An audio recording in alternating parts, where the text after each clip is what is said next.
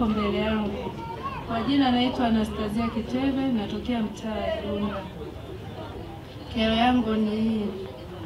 Kwanza kabisa, babangu mzazi alikuwa anauza nyumba tunayoishi mwaka elfu mbili kumi na tano. Alipokuwa anauza ile nyumba, kwa sababu mimi wanakaa na mamangu mzazi, babangu yangu alihama, ana, anaishi Ngoja kwanza, babangu ilikuwa nao, yuko wapi? Na tena? Si huyu mzee aliotoka kuongea? Ndio wewe mtoto aliyekuwa anakusema. hapana, sio. Ni Sasa- unamlalamikia amekunyang'anya eneo lako? Mhm. Yaani nataka nieleze, sikilizeni, mwishoni mtaona maelezo yake, mnaweza mkanisaidia. Sasa basi,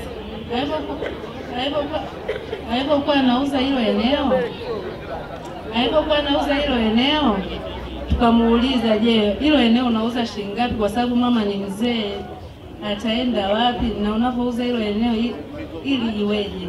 Na huyu ndio mke wako wa ndoa. Akasema yeye anauza eneo, mama ataenda kijijini kwao. Baada ya hapo tukamuuliza kwanza, akawa anatupeleka kwa watendaji kila siku, anasema yeye anauza eneo, sisi hatumsaidie. Baadaye mimi nikasema mm, ili kuondoa hili hii kero tumuulize anauza shilingi ngapi, Maana naona mzee anakuangalia jicho Eh. kali pale. Eh, ili tumlipe. Mzee akasema yeye anauza milioni thelathini. Mimi nikasema uwezo wa kulipa hiyo milioni thelathini hatuna. Tukaenda tukapunguziana mpaka ikafika milioni ngapi? Milioni tatu. Ilipofika milioni tatu, mimi nikawa napeleka kila mwezi laki tano kwa afisa mtendaji wa kata. Kila mwezi nilipangiwa kila mwezi laki tano, kila mwezi nilikuwa napeleka laki tano. Basi nilipomaliza Sasa mzee mbona anaenda?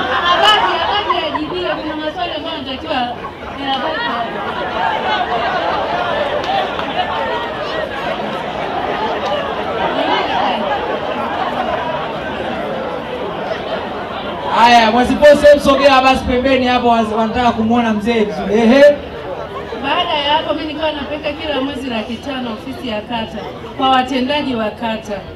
Nimepeleka zile pesa zikawa zimeisha, nikawa nafuatilia nini, karatasi ya maandishi inayosema mimi nimemaliza deni, tupewe nini, karatasi ya maandishi. Wale watendaji wa kata ya wakawa wananizungusha kila siku. Kumbe kuna kakangu mmoja anaishi Makambako, yule ndo akawa ananizunguka, wakaja kuchukua lile karatasi wakiwa na nani Dada, hebu ngoja kwanza. Unajua haya mambo ya familia haya tabu kwetu. Ndiyo.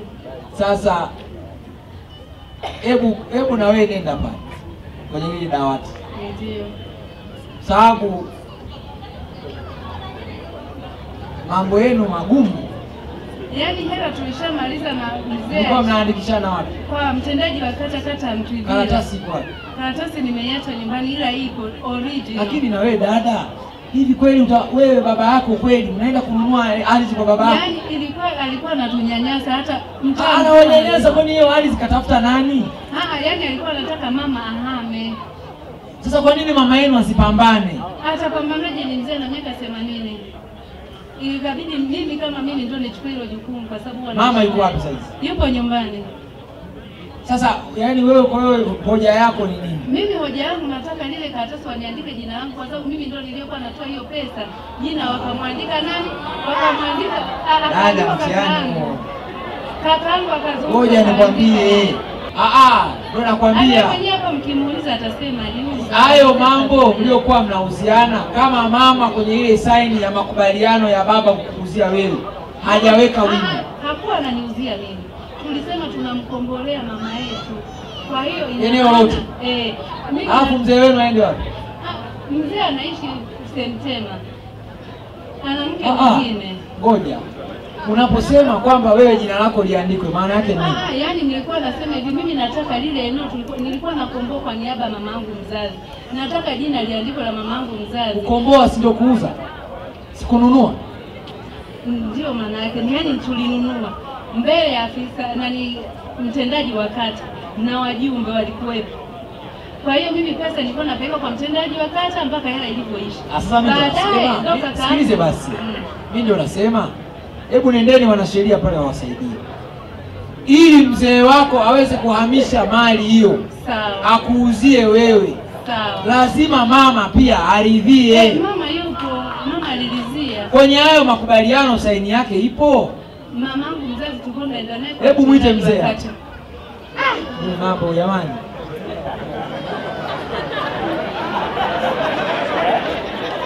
Mzee, eti anasema kweli ulichukua milioni tatu kutoka kwa mtoto wako? Huyu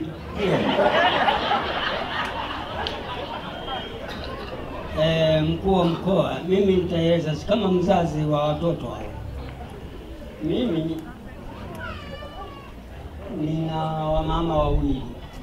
Baada ya mama wawili, kuna kaka yake wa huyu aliniambia, tunaomba mzee, wakati huo sio leo, miaka imepita kumi kule kijijini tuwezi kulima. Kama tunalima, je, mzee unataka nini kule kijijini? Maana we mzee sasa uwezi kulima, inatakiwa kitu cha kukusaidia, tukupe hela.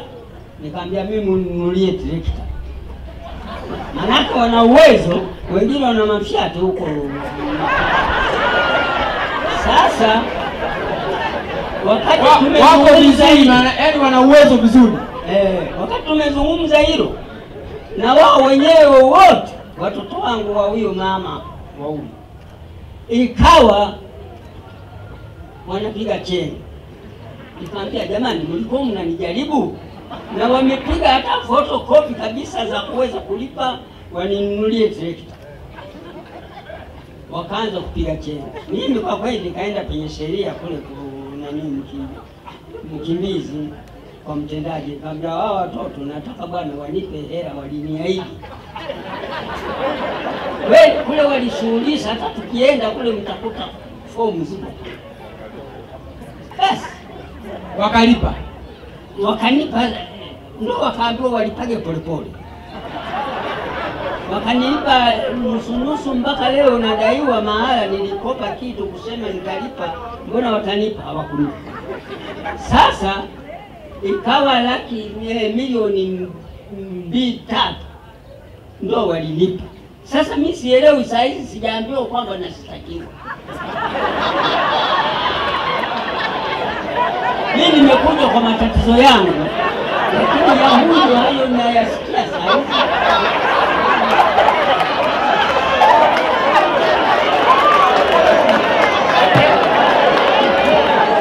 Wenga. Sasa kwa hiyo kwa hiyo hajawahi kukwambia kwamba hiyo ardhi wanaitaka, hata siku moja bana. Na hiyo hela waliokuwa wanakupa ni ya nini? Eh? Ile milioni tatu walikupa ya nini? Hilo walinipaga wakati waliahidi kuninunulia trekta ya. Sasa ni watoto wangu kwa dai. Kaka yake anaitwa Daudi, ndio huyo aliyeniingilia hii hili poli wakati anasema la kwake. Kwa hiyo walipokuahidi trekta hawajatekeleza, ndio waka, ukawabana wakaanza kulipa hiyo. Eh, ndio wakanipa milioni tatu. Nikanunua Land ndio iko kule nyumbani.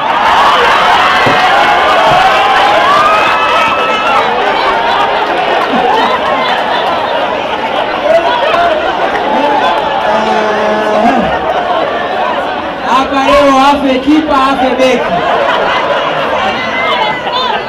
Ehe mzee. Kwa hiyo hiyo milioni tatu ilikuwa sio ya kwamba wewe uwape lile shamba, ilikuwa sio kwamba wewe uwape ile nyumba. Ah, ilikuwa wananipa tu niende nikatumie shambani. Sasa kwenda shambani kutumia ile hela, nikaona kwa kweli nitakula hasara. Heri mimi kwa sababu ni fundi mekanika toka miaka arobaini mimi nafanya kazi uzee huu kutoka mwaka hamsini na mbili hamsini na tatu nilipoacha shule nikaenda eh, Ifunda nikafanya fanya kibarua nikapata nauli nikaenda Arusha nikawa gereigoi kule Namanga tutaleta Nyerere na mzee wa Kenya wamesikilizana, Mkenya pite Tanzania. Ndio nilipojifunza kwenye Ligoni Wewe Land yako ipo? mwaka hamsini na nne Land ile ipo? iko nyumbani. Wewe bana dada wewe, ni kweli mlimwahidi mzee trekta? Ah, kusaini sio tatizo. Mliwahi kumwahidi trekta? Hapana, mimi sijai mwahidi, mimi rasti bwana, labda kaka zangu, ila mimi sijawahi. Mimi ni wa mwisho kuzaliwa, kwa hiyo Ndio maana nawaambia mambo ya kufanya biashara na mzazi ni magumu. Ah, biashara, aliandika kuna karatasi special. Mimi mzee Beatus nina akili timamu. Hizo hela ulilipa wewe kaka? nililipa mimi. Hata watendaji wa kata wanalijua hilo, wakiitwa hapa wanaweza wakasema Kwa hiyo ili mzee awape nyumba.